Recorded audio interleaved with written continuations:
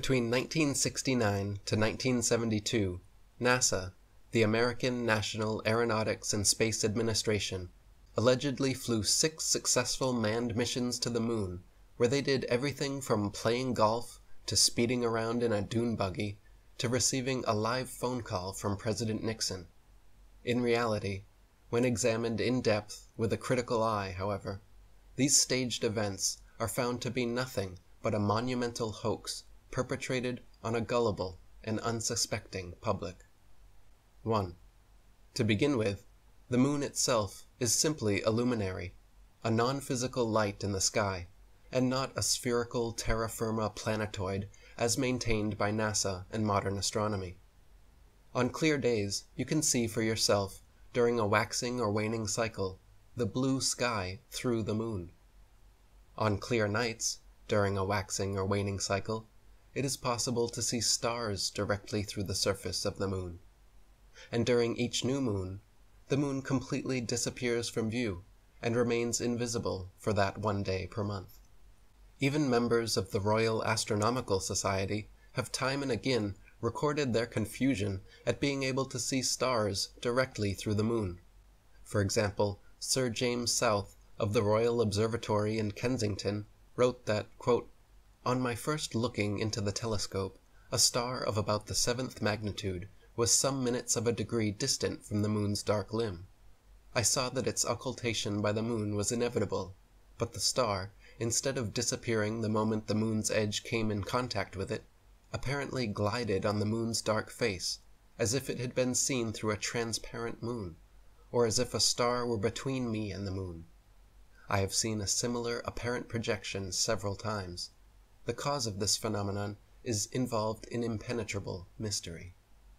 A star occulting a crescent moon has long been a popular symbol of Islam, was the symbol of the Ottoman Empire, is found on the flags of Algeria, Azerbaijan, Libya, Malaysia, Mauritania, Pakistan, Singapore, Tunisia, Turkey, and in the coat of arms of countries from Croatia to Germany, Ireland, Poland, Portugal, Romania, Sweden, Ukraine, and the United Kingdom. Nowadays, however, thanks to decades of NASA propaganda, people believe against the evidence of their own senses that the moon is a physical terra firma planetoid capable of walking on. 2. Basic physics proves that not only has man never flown to the moon, but that the entire concept of a vacuum of space is impossible.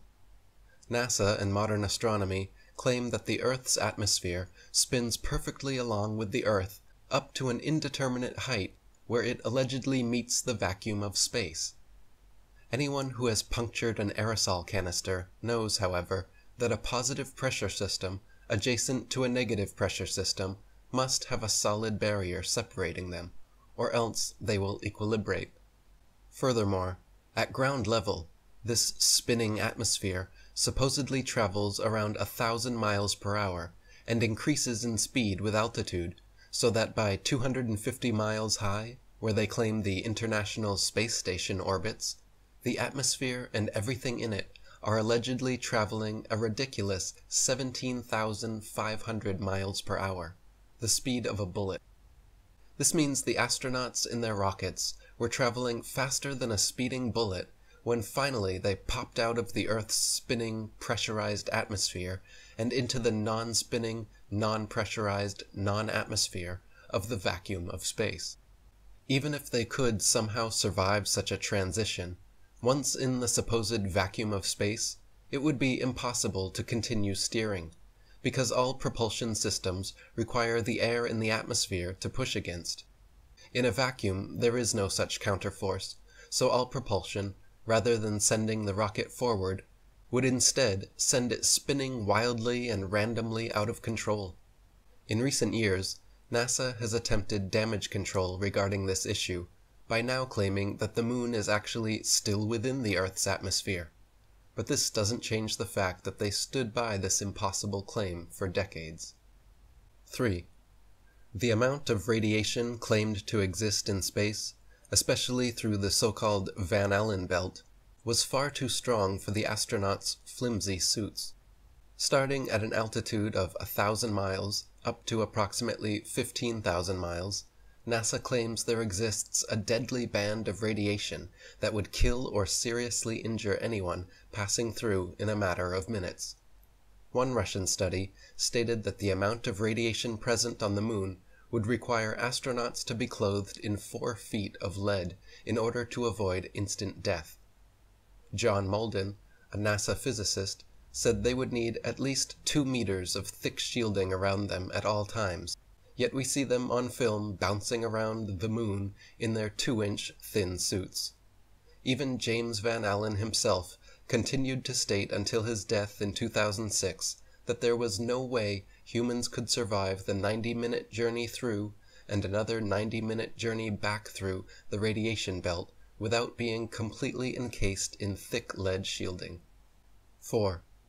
Temperatures on the moon supposedly range from 279 degrees below zero during the night time, which is far colder than even Antarctica's coldest winter, and up to 243 degrees above zero at lunar midday, which is hotter than boiling water. NASA claims their special suits were fitted with both heating and cooling systems, but nothing which could come close to withstanding these incredible temperatures. The suits were also supposedly pressurized to keep the vacuum non pressure of space from bursting their blood vessels, but they clearly have deep creases and wrinkles all over. Astronauts in true pressurized suits would look like the Michelin Man, bubbling out and very inflexible. Also, it is impossible for the Kodak film in their cameras to have survived these extreme temperatures without melting or freezing. 5. In images from Apollo 11, Buzz Aldrin can be seen wearing different color gloves and different length boots in pictures that were supposedly taken within minutes of each other. For example, in photo AS11405873, Aldrin is wearing high boots and dark gray gloves. But just two pictures later, in AS11405875, he has changed into smaller boots and white gloves. If Buzz was really in the vacuum of space in a pressurized spacesuit, he certainly would not have had time or reason to depressurize and repressurize his suit just to make these fashion adjustments. 6. None of the Apollo missions brought any extra studio lighting with them on the lunar lander, so the sun should be the only light source on the moon and in all pictures taken there. In this case, the light should only come from one direction and all shadows should be cast in the opposite direction. However, in dozens of official NASA photos, there are shadows being cast in up to three directions simultaneously, often at up to 90 degree angles, which can only be the result of multiple light sources not present on the moon. For example, in Apollo 14 photo AS 1468 9486, the shadow of the lunar lander in the background is being cast at a drastically different angle from the rocks in the foreground. 7. Many pictures purportedly showing the sun, as viewed from the moon, are clearly just studio spotlights and not the sun. Apollo 12 photo AS 1246 67 65, for example, after computer enhancements, reveals a large light bulb in the center of the sun. After being thoroughly dissected by many researchers, NASA actually removed the high-resolution version of this image from their Apollo gallery. Apollo 11 photo AS11 40 5935 also shows a conical spotlight effect extending from a light just out of frame that is clearly not the sun. 8. Several Apollo images show a defined separation line where the ground meets with what can only be a studio backdrop. If they were actually filming on the moon, the ground would seamlessly meet the background, leaving no such dividing line. Furthermore, when analyzed side by side, dozens of images reveal that NASA reused the same backdrops time and again on what are alleged to be completely different areas of the moon. The contours of hills, mountains, and valleys align perfectly when superimposed upon one another. For example, Apollo 15 image AS 15 82 11057 shows the lunar lander set against a very unique and distinct mountainous backdrop, which, when superimposed over image AS 15 82 11 082, aligns exactly, but with no lunar lander, and a different foreground. Another example is Apollo 17 image AS 17 143 21 972, showing a mountain in the background with a clear foreground, while image AS 17 136 20707 shows the exact same mountain but now with several large rocks and boulders appearing in the foreground. There are dozens more examples of such repeated backdrops being used over the course of the Apollo missions. 9. Computer enhancements of many NASA images reveal photo manipulation and evidence of studio trickery. For example, as the Apollo 17 lunar lander lifts off, photo AS 17 151 23201 shows a clear shadow being cast on the ceiling of the studio.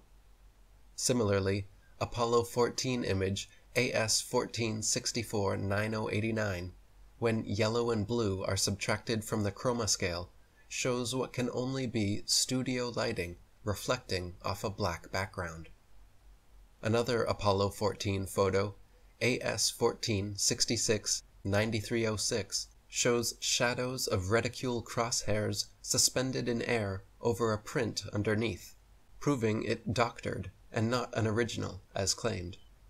Apollo 12 image AS 12 49 72 78 clearly shows several studio lighting lens flares caused by multiple overhead lights, and Apollo 12 image AS 12 48 70 71 shows what appears to be an overhead light reflecting in Alan Bean's helmet. 10. Computer enhancements done on images of the Earth taken from the Moon reveal clear photo trickery. By gradually removing the hues comprising black from the backgrounds, a bright rectangular artifact appears around the Earth, proving it to be a composite image. For example, Apollo 11 photo AS 11 44 66 42 when manipulated in Photoshop, shows a distinct separation line where the Earth was added into the image. Another example is Apollo 17 image AS 17 134 20 471, which, when enhanced and edited, shows an unmistakable rectangular artifact around the Earth, proving it to be another doctored composite photograph. 11. In the original Apollo 16 photo AS 16 107 174 46, there is a rock with a letter C clearly engraved into it, as well as another C drawn into the dirt next to it.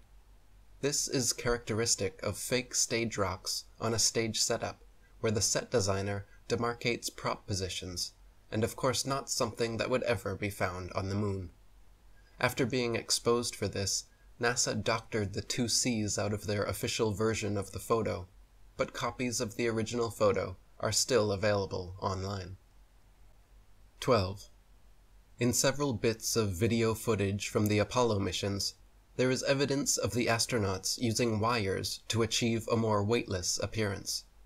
During Apollo 14, there are many occasions where light reflects off the wires attached to their backpacks, making them momentarily become visible. During the Apollo 17 flag planting, just as the two astronauts go to shake hands, light pings off the wires from the top of their backpacks all the way to the top of the screen.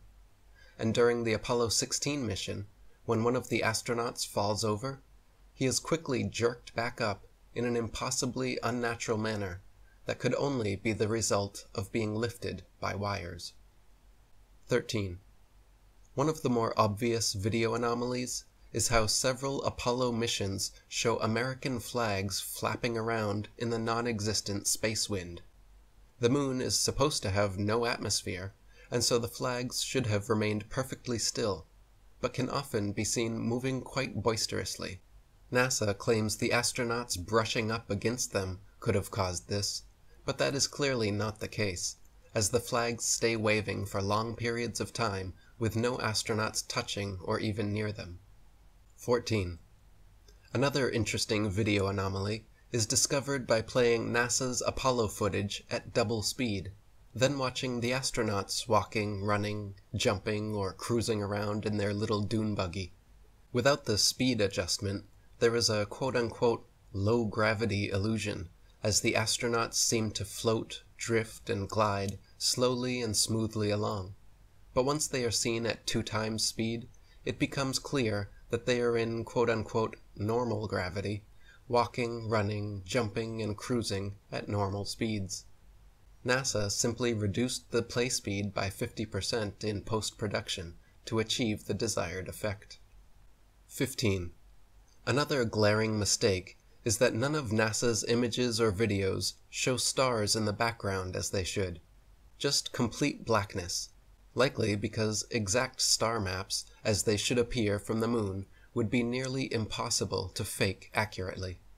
The testimony of different astronauts on different missions in their autobiographies and interviews just muddies the waters even more, some of them bragging about the quote, astonishingly brilliant light of the stars, and others saying that they, quote, don't remember seeing a single star while on the moon. Such inconsistent testimony, and the fact that none of NASA's moon pictures feature any stars anywhere in their appropriate positions, is yet more strong evidence of studio fakery. 16. Any sovereign minded, critically thinking adult that honestly examines NASA image AS 11 40 5922 of the Apollo 11 lunar lander, supposedly on the moon, will see a pathetic 1969 attempt at creating high tech looking equipment using flimsy construction paper, gold foil, scotch tape, and metal shower rods. The idea that the piece of junk shown in this official NASA photograph flew to the moon and back is so ludicrous it's laughable. Most unbiased viewers would assume your average high school art class could construct this contraption without much struggle. But official NASA spokesman and astronaut Don Pettit assures us that actually this 1969 technology is so advanced that even with their multi billion dollar yearly budget, they cannot for the life of them recreate it now. I'd go back to the moon in a nanosecond, Don informs us, but NASA destroyed that technology and it's a painful process to build it back again.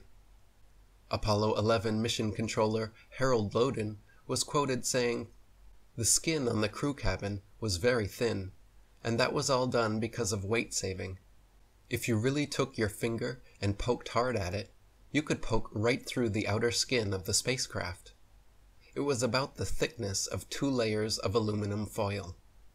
Project manager Thomas Kelly concurred, noting that the skin, the aluminum alloy skin of the crew compartment, was about 12 one thousandths of an inch thick, equivalent to about three layers of Reynolds wrap that you would use in the kitchen. And Apollo astronaut Jim Lovell said, Whenever I saw a model of the lunar module, it had these rigid sides and really looked strong. Turns out that external portions of the lunar module are actually made up of mylar and cellophane, and it's put together with scotch tape and staples. We had to have pads on the floor because if you dropped a screwdriver, it would go through the floor. 17. Apollo 11 image AS 11 40 59 26 shows a close up of the foot pads of the lunar lander without a speck of dust on them and without a burn print or crater under its 10,000 pound thrusters as if the LEM was just gently set down in place by an overhead crane. NASA scientists, in their own documents, were worried about the lander falling into its own massive burn radius, yet there it sits, with no burn print and spotless clean pads. Even the astronauts' boot prints made deep impressions in the ground, but somehow the lander's thrust of 2500 newtons left not a trace, no blast hole, and no dust on the pads. 18. During the Apollo 11 mission, Richard Nixon made a historic phone call from Washington, D.C. to Neil Armstrong on the moon, showing both men live on split-screen TV. AT&T Archives states that the call, quote, went from the Oval Office in Washington, D.C. to Houston, where it was routed into space via mission control through the capsule communicator.